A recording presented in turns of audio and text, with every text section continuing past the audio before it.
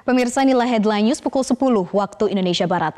Ketua Gugus Tugas Percepatan Penanganan COVID-19 Doni Monardo pagi hari ini menghadiri serah terima The Media Hotel and Towers yang dapat digunakan selama penanganan wabah COVID-19.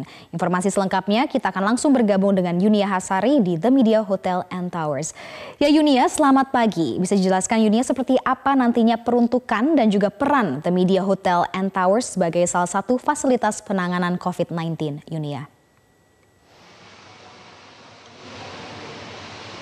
Sarah, kalau kami bisa mengutip apa yang disampaikan tadi oleh Ketua Gugus Tugas Percepatan Penanganan COVID-19 di Indonesia, Doni Monardo, The Media Hotel and Towers ini nantinya akan diperuntukkan atau digunakan untuk fasilitas bagi tenaga kesehatan atau tim paramedis yang terdiri dari dokter, perawat, relawan yang membantu dan juga tim pendukung lainnya untuk kemudian berkonsolidasi dan juga beristirahat. Direncanakan pekan depan The Media Hotel and Towers ini sudah dapat digunakan yang terdiri dari 188 kamar, dua restoran, restoran dan juga satu ballroom untuk kemudian dipakai beristirahat dan memulihkan tenaganya kembali untuk bisa secara efektif dan maksimal membantu penanganan COVID-19 di Indonesia.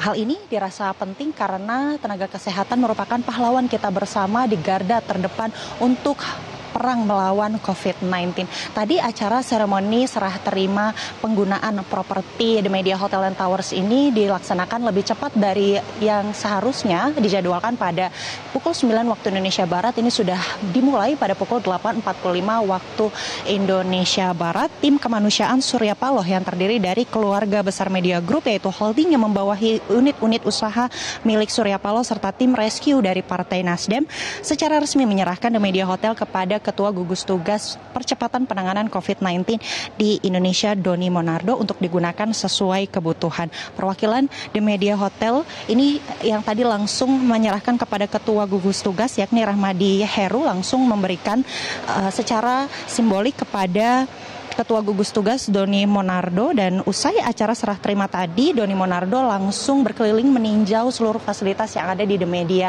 Hotel and Towers. Tadi ada satu hal yang menarik yang kami lihat atau kami perhatikan selama acara berlangsung dari Ketua Gugus Tugas Doni Monardo dan juga jajaran media group secara uh, terus-menerus mengkampanyekan social distancing atau mengkampanyekan atau mengingatkan satu sama lain untuk menjaga jarak antar satu orang dengan orang yang lain ini tidak kurang dari satu uh, meter dan ini yang terus uh, tadi digaungkan atau diingatkan bersama-sama sepanjang acara berlangsung dan tadi di akhir kata Doni Monardo atas nama pemerintah mengucapkan terima kasih kepada tim kemanusiaan Surya Paloh dan berharap ke depannya akan banyak lagi keluarga kebangsaan yang bisa membantu pemerintah dalam penanganan COVID-19. Sarah. Ya Yunia, apakah Anda sudah lihat adanya persiapan khusus yang dilakukan sebelum nantinya The Media Hotel Towers ini digunakan secara aktif, Yunia?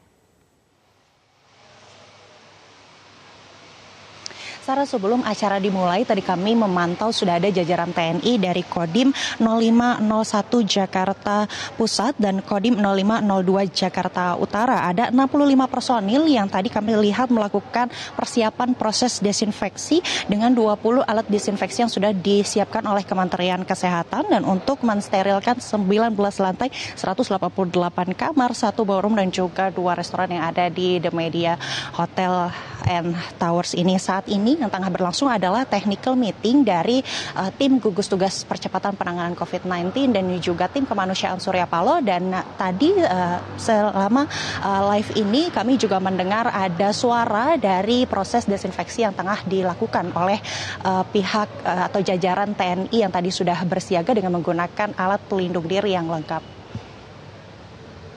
Demikian Sarah kembali ke Anda. Baik, terima kasih Yunia Harsari melaporkan langsung dari The Media Hotel and Towers. Pemirsa demikian headline news untuk saat ini. Headline news berikutnya akan hadir satu jam dari sekarang.